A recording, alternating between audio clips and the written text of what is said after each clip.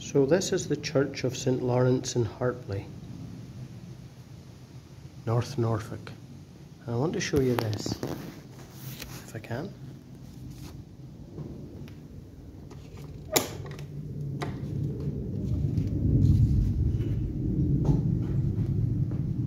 Wee priest's doorway, isn't that charming? Let's have a look inside.